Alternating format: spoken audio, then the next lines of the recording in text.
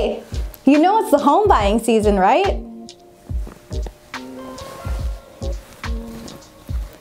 Wait a minute. There, now that's better.